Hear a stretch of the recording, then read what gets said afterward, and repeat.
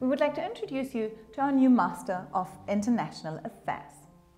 The new MIA, the MIA 2.0 as we like to call it, keeps a lot of the elements of our graduate education in international affairs. We continue to focus on public policy problems without a passport, governance challenges that can only be tackled at the global level. And because these challenges are very complex, we continue our education to be interdisciplinary.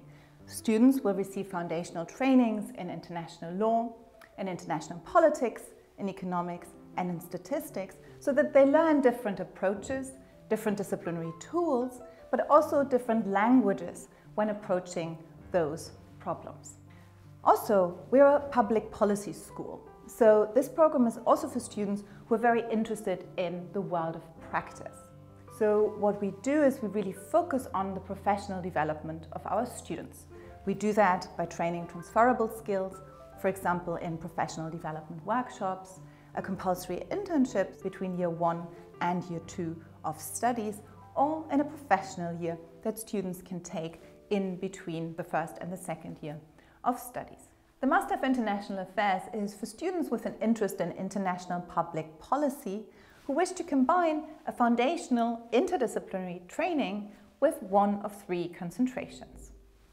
European governance, international security, and human rights and global governance. Really what this concentration is about is about the governance of Europe and the governance of the European Union. So the idea therefore is that we want our students to study the European Union, so the institutions that exist in Brussels, but we also want our students to have a good and deep knowledge of how European policy interacts with national capitals, including, for example, how European policy is developed here in Berlin, in Germany, and across Europe. I think this concentration is for students who are passionate about changing Europe. So they might work in all sorts of different sectors, maybe for the European Union, maybe for national governments in different ministries where European affairs is involved. They might work in sectors, like in the healthcare sector, in the education sector, but in all of those sectors, the European Union is increasingly an important and decisive actor. So if you want to affect policy change, real policy change, transnationally or nationally within different European states, you have to really know something about Europe and you have to be able to influence how the EU works. The security concentration of the MIA program allows students to study international security in all its dimensions. There are two courses that constitute the heart of the security concentration. One is called War, Peace and Strategy, the other one Conflict and Violence. War, Peace and Strategy gives students an introduction to the formulation and implementation of grand strategy, a state's plan to achieve its objectives to protect and promote its national interests in peace and war. The second course is called Conflict and Violence.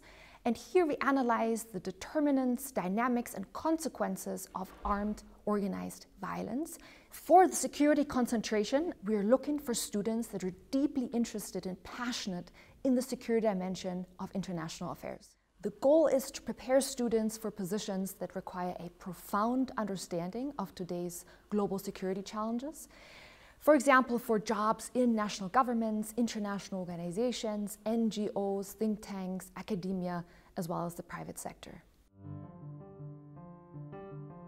The Human Rights and Global Governance concentration of the Master of International Affairs um, is about studying how human rights norms and human rights demands bear on global governance challenges of our contemporary times. So if you're interested in understanding the complexity of global governance beyond the state and how to bridge the gap between normative uh, approaches to global governance and its practice in real time, and if you're interested in how to affect change and reform in our current institutions, and finally, if you're keen to understand how to enhance human rights protections in global governance practices, this course is for you. This course is an excellent fit for students who are interested in pursuing careers in state institutions, international organizations, non-governmental organizations in the fields of policy, research, or advocacy. We redesigned uh, the program with those three new areas of concentration for a number of reasons. A, we think these are really the big questions in international affairs today. These are also big questions on which the Hertie School has great visibility. Visibility in research, visibility in outreach, and visibility in its centers of competence. Each of those areas maps on directly to one of the centers of competence. Fundamental rights, the Jacques Delors Center on Europe, and the Center for International Security. Last but not least, our students, our current cohorts, have signaled to us very clearly that these are the questions that they, as a student community, would be interested in exploring further.